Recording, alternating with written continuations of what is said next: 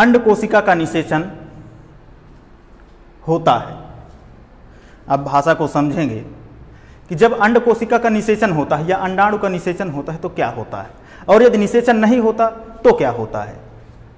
क्योंकि अंडाशय के द्वारा तो अंडाणु का श्रावण कर दिया गया, लेकिन यदि उसका निषेचन होता है तो आगे की प्रक्रिया क्या होती है? और यदि उसका निषेचन नहीं हो पाता, अर्थात उस तक शुक्राणु नहीं पहुँच पाता तो क्या होता है?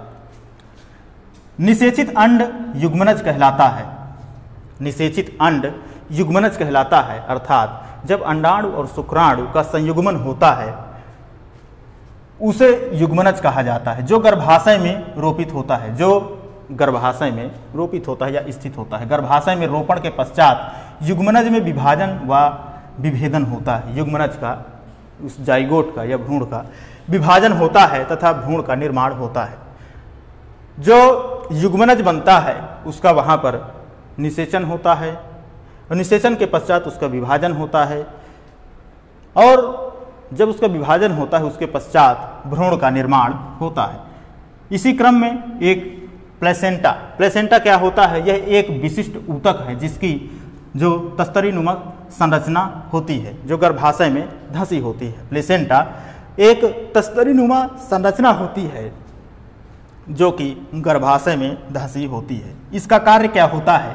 तो माँ के रक्त से ग्लूकोज, ऑक्सीजन आदि, जो कि पोषण के रूप में भ्रूण को प्रदान करता है। जैसे अंडाणु व शुक्राणु के मिलने से या निषेचन से भ्रूण का निर्माण हुआ। अब उसी भ्रूण से संतान की उत्पत्ति होनी है तो उस भ्रूण को पोषण की आवश्यकता होगी। उस पोषण को पहुँचाने का कार्य या भ्रूण तक पोषण को पहुँचाने का कार्य प्लेसेंटा नामक ऊतक करता है, जो कि अब उस भ्रूण को किस प्रकार से या किस प्रकार का पोषण दिया जाता है तो वह ग्लूकोज और ऑक्सीजन के रूप में होता है। भ्रूण द्वारा उत्पादित अपशिष्ट पदार्थों का निपटान इसी प्लेसेंटा के माध्यम से होता है, जो भ्रूण के द्वारा जैसे जो पोषण करेगा, वह उत्सर्जन भी करेगा। तो भ्रूण के द्वारा उत्सर्जित अपशिष्ट पदार्थों को यही प्लेसेंटा इसका निपटान करता है या इसको बाहर निकालने का काम करता है। अंड के निषेचन से लेकर शिशु के जन्म तक, अंड के निषेचन से लेकर शिशु के जन्म तक के समय को हम गर्भकाल कहते हैं। अर्थात आप कह सकते हैं कि जब अंडाणु का निषेचन होता है, उस समय से जब तक बच्चे का जन्म नहीं होता, उसको हम गर्भकाल कहते हैं। इसकी अवधि मानव में नौ महीने की होती है।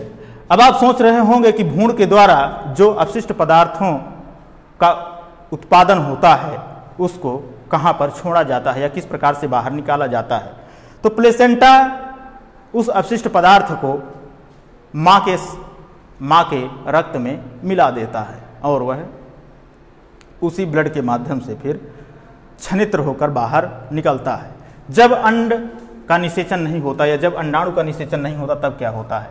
हर महीने गर्भाशय, हर महीने गर्भाशय खुद को निषेचित अंड प्राप्त करने के लिए तैयार करता है। गर्भाशय की भित्ति, मांसल एवं स्पंजी होती है। यह भ्रूण के विकास के लिए आवश्यक होती है। गर्भाशय की भित्ति, मांसल और स्पंजी होती है। यह भ्रूण के विकास के लिए आवश्यक होती है। यदि निषेचन नहीं होता है तो इस भित्ति की आवश्यकता भी नहीं होती है। इसकी, इस भित्ति का निर्माण ही इसलिए होता है कि निषेचित अंड इस पे आएगा। इसी के लिए इस भित्ति की आवश्यकता होती है। और वह निषेचित अंड जब गर्भाशय पर आएगा तो यहाँ पर भ्रूण का निर्माण होगा। और भ्रूण के विकास के लिए ही इस भित्ति की आवश्यकता होती है। जब अंड निषेचित ही नहीं हुआ गर्भाशय पर, अर्थात गर्भाशय तक निषेचित अंड पहुँचा ही नहीं तो भ्रूण का निर्माण कैसे होगा? और जब भ्रूण का निर्माण ही नहीं हुआ तो इस भित्ति की आवश्यकता क्यों है? तो जब इस भित्ति की आवश्यकता नहीं है तो यह धीरे धीरे टूट कर योनि मार्ग से रक्त एवं म्यूकस के रूप में बाहर निकल जाती है। जब इस भित्ति की आवश्यकता ही नहीं है तो यह धीरे धीरे टूट जाती है। और जब यह टूटती है तो इससे रक्त और म्यूकस निकलता है। रक्त और म्यूकस निकलता है और यह रक्त और म्यूकस योनि मार्ग से बाहर निकल जाता है।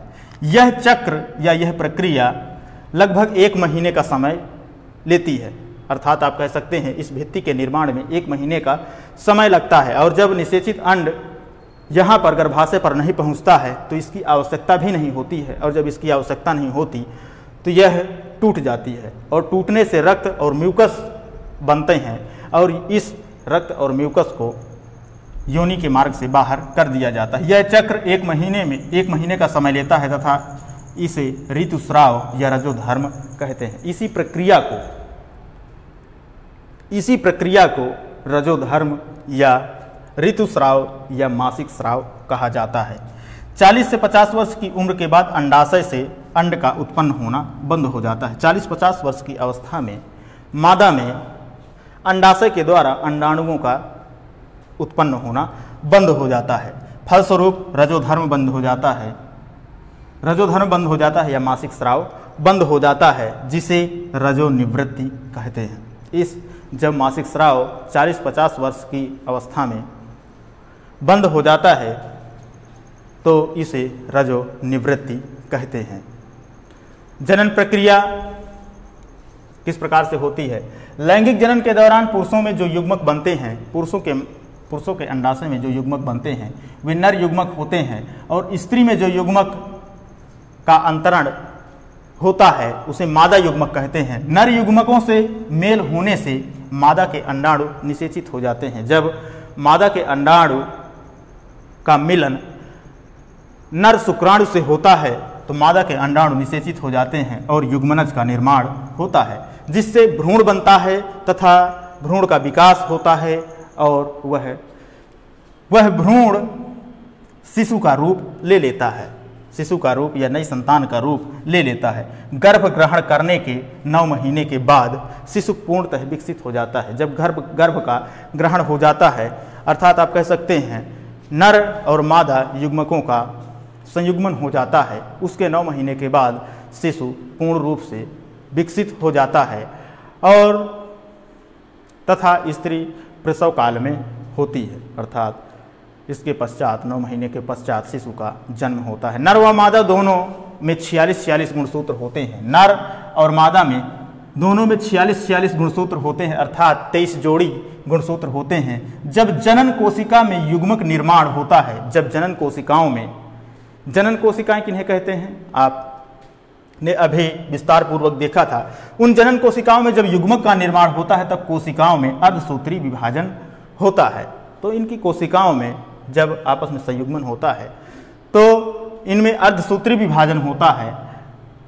इस विभाजन में गुणसूत्र आधे रह जाते हैं। अर्धसूत्री विभाजन का मतलब ही होता है आधा हो जाना। इस विभाजन में गुणसूत्र आधे रह जाते हैं, अर्थात तेईस तेईस हो जाते हैं। तेईस नर के और तेईस मादा के। नर और मादा में छियालीस गुणसूत्र पाए जाते हैं। छियालीस छियालीस गुणसूत्र पाए जाते हैं, अर्थात तेईस तेईस जोड़ी गुणसूत्र पाए जाते हैं।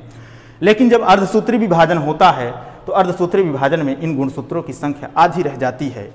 अर्थात तेईस नर के और तेईस मादा के। अर्धसूत्री विभाजन केवल जनन कोशिका में ही होता है। शरीर की अन्य सभी कोशिकाओं में समसूत्री विभाजन होता है।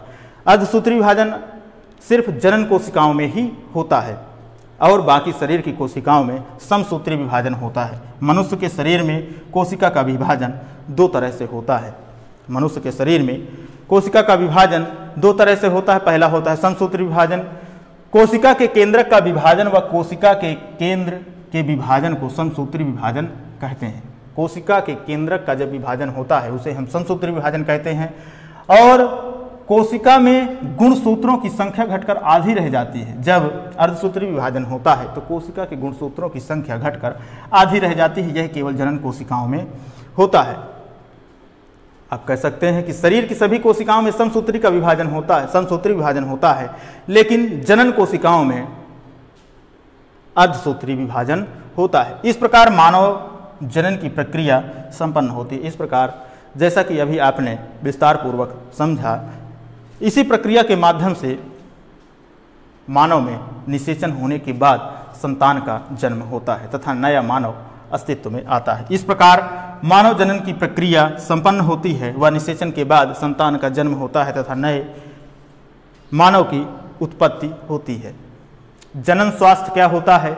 जनन स्वास्थ्य का अर्थ है जनन से संबंधित आयाम, जैसे शारीरिक, मानसिक, सामाजिक व व्यवहारिक रूप से स्वस्थ होना। जनन स्वास्थ्य का अर्थ होता है शारीरिक रूप से आप स्वस्थ रहें, मानसिक रूप से स्वस्थ रहें और सामाजिक एवं व्यवहारिक रूप से भी आप स्वस्थ रहें, यह जनन स्वास्थ्य होता है। रोगों का लैंगिक संचरण, जनन के अंतर्गत कई प्रकार के रोगों का संचरण भी हो जाता है। यदि नर और मादा के बीच संबंध स्थापित होता है, उसके माध्यम से कई प्रकार के रोगों का संचरण भी हो जाता है। अनेक रोगों का लैंगिक संचरण भी होता है, जैसे कि जीवाणु जनित गोनेरिया, सिफिलिस विषाणु जनित मस्सा और एड्स हैं। अर्थात आप कह सकते हैं कि मस्सा जो होते हैं और जो एड्स होता है, यह विषाणुओं से विषाणु जनित रोग होता है। इनको रोकने के उपाय भी हैं, जैसे इन रोगों को रोकने के उपाय के रूप में कंडोम का इस्तेमाल किया जा सकता है। जिससे इन रोगों का संचरण काफ़ी हद तक कंट्रोल किया जा सकता है। गर्भ रोधन क्या होता है? गर्भधारण को रोकना या अनचाहे गर्भ को रोकना गर्भरोधन कहलाता है। गर्भरोधन के प्रकार यांत्रिक अवरोध, गर्भ, गर्भधारण को कितने प्रकार से रोका जाता है? या रोक सकते हैं? इसको देखेंगे। तो यांत्रिक अवरोध, पहला होता है यांत्रिक अवरोध। शुक्राणु को अंड कोशिका तक नहीं पहुँचने दिया जाता। यांत्रिक अवरोध के माध्यम से नर के द्वारा स्रावित शुक्राणुओं को अंड कोशिका तक, जहाँ जहाँ पर अंडाणु उपस्थित होते हैं, वहाँ तक नहीं पहुँचने दिया जाता। इसको कैसे किया जाएगा कि नर के द्वारा स्रावित शुक्राणु मादा की अंड कोशिका तक ना पहुँचे? या अंडवाहिनी तक ना पहुँचे, जिससे दोनों के बीच निषेचन नहीं होगा और गर्भधारण नहीं होगा। तो इसका उपाय यह है कि शिष्ण को ढक दिया जाए, कंडोम के माध्यम से शिष्ण को ढक दिया जाए, और या फिर योनि में सर्वाइकल कैप रख दिया जाए, जिससे कि नर के द्वारा स्रावित वीर या स्पर्म अंड कोशिका तक या अंडाशय तक नहीं पहुँचेंगे, जिससे उनके बीच निषेचन नहीं होगा और गर्भधारण नहीं होगा। दूसरा होता है रासायनिक तकनीक। रासायनिक प्रक्रिया के माध्यम से भी इसे रोका जा सकता है। मादा में अंडे को ना बनने देना। इस प्रक्रिया के माध्यम से, जैसे एक माह में, मादा में एक अंडे का श्रावण होता है, उसको ही ना बनने देना। इसके लिए दवाई ली जाती है जो कि हार्मोन के संतुलन को परिवर्तित कर देती है। हार्मोन के माध्यम से अंडाणुओं का श्रावण होता है या अंडा हार्मोन उन्हें प्रेरित करते हैं, उस प्रक्रिया को ही अवरुद्ध कर देना। इनके माध्यम, इनके अन्य प्रभाव भी हैं।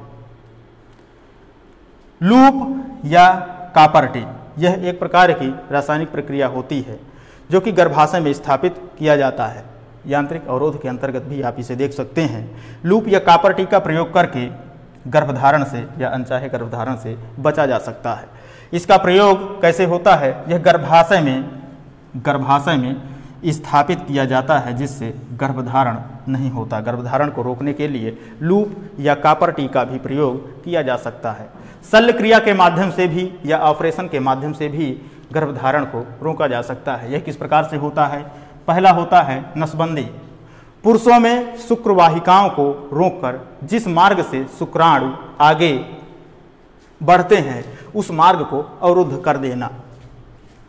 शुक्रवाहिकाओं को रोककर उसमें शुक्राणुओं के स्थानांतरण को रोक देना, अर्थात शुक्राणुओं के श्रावण को ही रोक देना। अगला होता है ट्यूबेक्टोमी। महिलाओं में अंडवाहिनी को अवरुद्ध कर दिया जाता है और अंड के स्थानांतरण को रोक दिया जाता है, जिससे निषेचन नहीं होता। आगे आता है, भ्रूण हत्या। भ्रूण हत्या क्या होती है?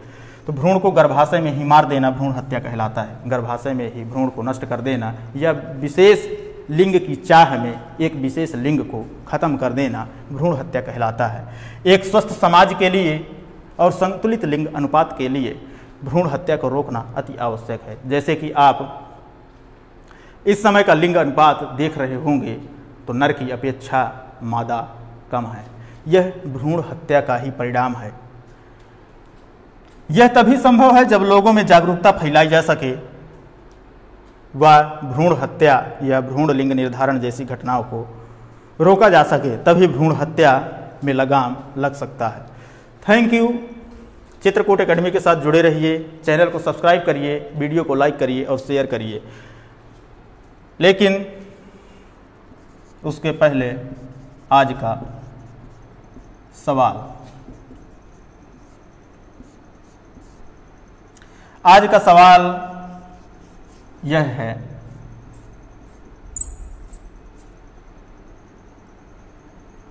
आज का सवाल यह है, मानव में गुणसूत्रों की संख्या क्या होती है? इसका जवाब आपको कमेंट बॉक्स में देना है। मानव में गुणसूत्रों की संख्या कितनी होती है? जुड़े रहिए चित्रकूट एकेडमी के साथ। चैनल को सब्सक्राइब करिए, वीडियो को लाइक करिए शेयर करिए। धन्यवाद।